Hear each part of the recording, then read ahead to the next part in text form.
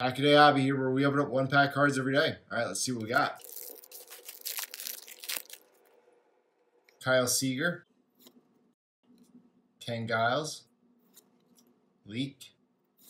Carlos Stanton. Choo. Solarte.